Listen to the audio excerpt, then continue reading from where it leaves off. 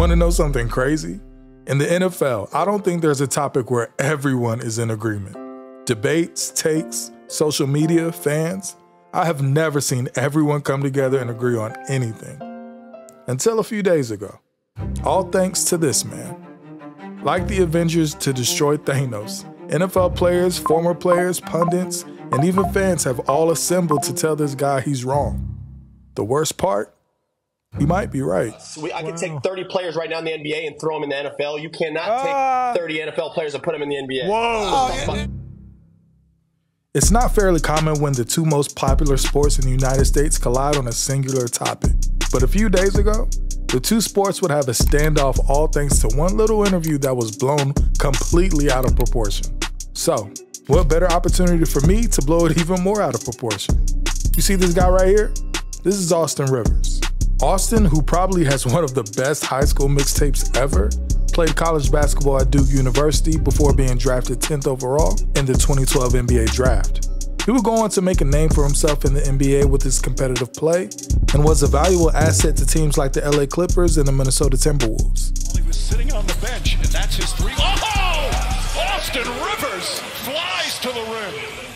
Rivers had some strong words about NBA players stirring up the pot with his comments on the Pat McAfee show, positioning that it was much easier to make it as a professional athlete in the NFL than the NBA. It's slowly coming our way, though. I can already see it. You're getting more into it. Look at you. You're talking about the Cavs today. You're, you're, you're stretching out. We got to get you outside of that football lane, man, where the guaranteed contracts are, where the best athletes in the world are. That's us. We, I wow. can take 30 players right now in the NBA and throw them in the NFL. You cannot uh, take 30 NFL players and put them in the NBA. Whoa! Oh, yeah, it's because you only allow five on the court. Uh, uh, let's just let's all relax. It's because you get a break every play. All you gotta do is catch the ball and run north or south. Listen, Rivers' comment was met with disdain from most of the NFL community, but his stance is not particularly a new one.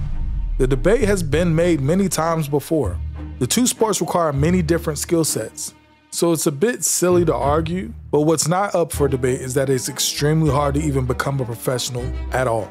To become a professional athlete is no small feat, but every young athlete's dream is to make it to the pros. And as much as we hear about how rare it is to actually make it that far, this doesn't stop us from chasing that dream. But when people say your odds are slim, they're not lying. To make the NBA, you have a 0.03% chance. This means that out of 156,000 male high school senior basketball players, only 44 will be drafted in the NBA. And for the NFL, just 1.6% of college players will make a roster in the league. So just off percentage alone, it's more difficult to make the NBA than it is the NFL. But other factors play a part as well. First, there are way less jobs available given that there are fewer NBA teams and far less roster spots. Second, NBA players are paid better, pushing two sport athletes into basketball if they can make it there. And third, NBA careers are generally longer, leading to a more overall career earnings. For instance, players like Draymond Green and more recently Anthony Edwards, who by the way is killing it in the playoffs right now. He'll put up a three. Bullseye! They both were two sport athletes. Draymond Green playing for Michigan State despite not being very good. Oh, come on, big fella. He's a little excited. He's a little excited out there. And Anthony Edwards, who admittedly said football was and is his first love. He played for the Atlanta Vikings on offense and defense. Even the obvious, LeBron. At 6'9, 250 pounds, he could easily play tight end. He really delivered in his high school days, becoming a two time All Ohio selection after switching his position from quarterback to wide receiver and totaling 99 catches, 1,912 receiving yards, and 27 touchdowns in those two years he played.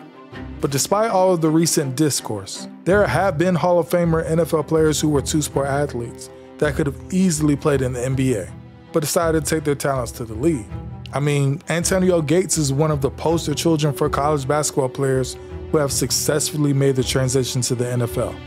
After leading Kent State to the Elite Eight in 2002 and averaging 20 points per game a season after that, Gates quickly became the NFL's premier tight end, earning first team All Pro honors in his second, third, and fourth seasons in the league.